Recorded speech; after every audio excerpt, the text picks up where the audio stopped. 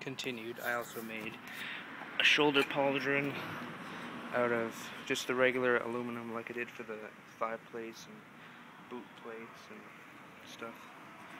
Um, it has webbing that is bolted on with some very strange bolts that have no head on them, just a round surface, like a false rivet or something. that goes over the left shoulder plate and stuff, and then this still needs sanding and crap. And uh, there's the beta flamethrower. Um, right now I have the hose on it, on it and all that stuff. This one isn't mine, it's just a stand-in. Mine is yonder. I swapped the hose from mine onto here because it's going to be tested. And the uh, helmet.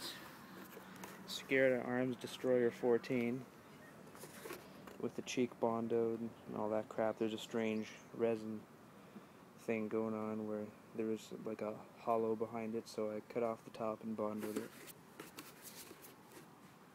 Some more bondo. Cut out the vents after like three tries, and I cut out the two dot th there two switch things to fit a half inch by one inch rocker switch, and then LED holder just above. I have a internet modem antenna that goes here, and that's just a five milliliter, five millimeter um, chrome LED bevel, bezel.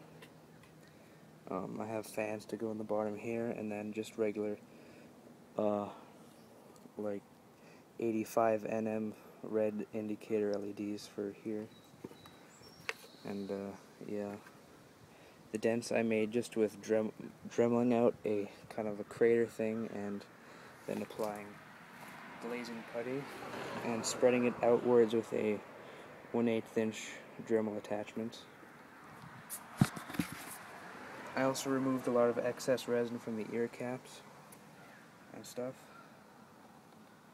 So yeah, Destroyer 14 to 15. Yeah.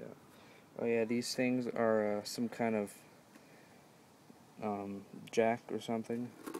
I don't know what they're for. I just got a bag of them for like 50 cents at an electronics sale. So, yeah. Back plate still needs a bunch of Bondo and crap. And then there is the newest thing which is barely together.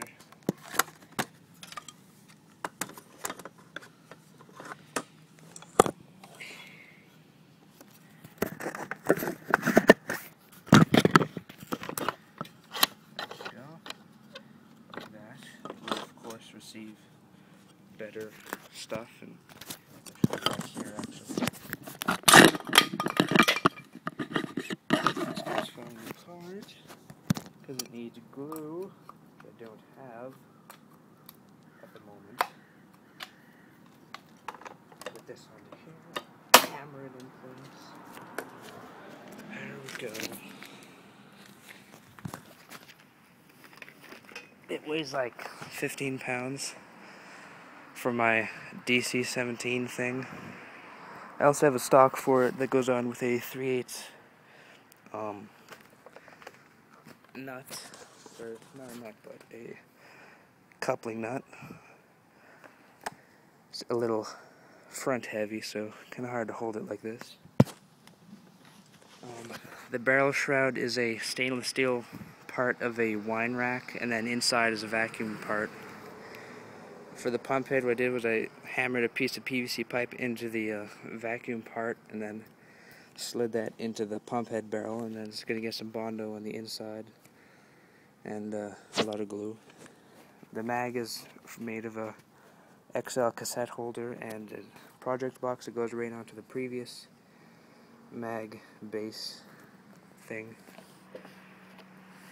I also had to cut open the back here in order for the because this all goes together with a piece of 3 8 threaded rod passed through the entire thing. By the way, this is a uh, just a plumbing fixture. I forget what it's for.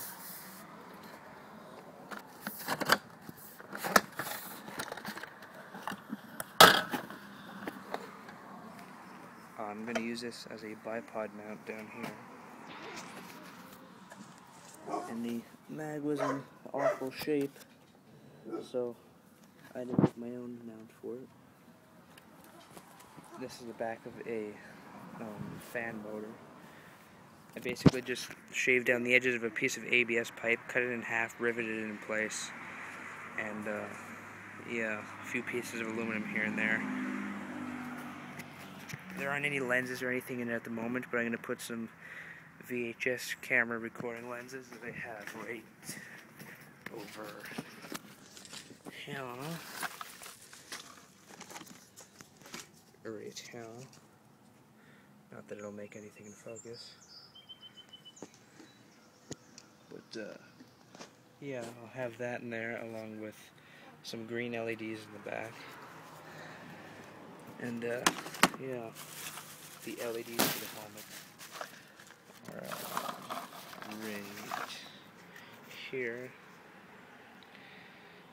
Nothing too powerful, just uh, standard. Oh, they're more powerful than I thought, but anyways, they're good enough. And the switches for the gauntlet are just momentary push buttons, but they're low profile enough that they'll work for some functions or they'll just be static on there, like 250 each. So.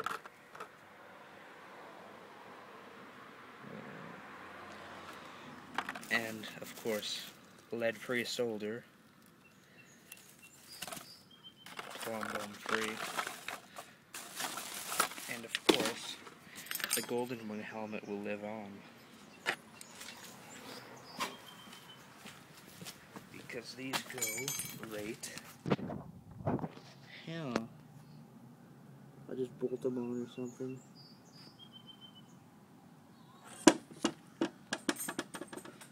And uh, yeah, that's it for the time being. By the way, here's the alpha. I have a micro switch mounted on it so that when I push the trigger down, it activates the switch. And then it'll have hyper bright like 1500 nm amber or yellow LEDs, LEDs in the front, but I ordered them last night from Deal Extreme and you know they take their time with shipping so I estimate those will be here anywhere from let's see it's July so anywhere between July and Halloween so yeah.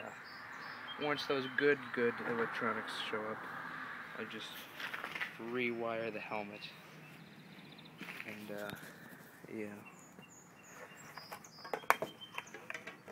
This is what it looks like at the moment.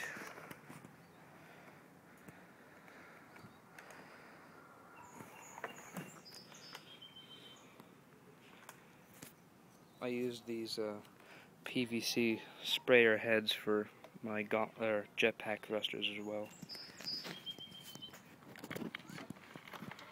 It's kind of heavy and all, but with a stock, you actually don't really notice all of the weight because part of it's depressed into your shoulder, so yeah. Like I said, bipod will go in the front. Probably just going to braze some, some 3 8 bolts onto the end, chop off the bolt heads, put some 3 8 cement anchors, and bolt them into here somehow. Probably gonna have to weld something on, but uh, yeah, that's it for now.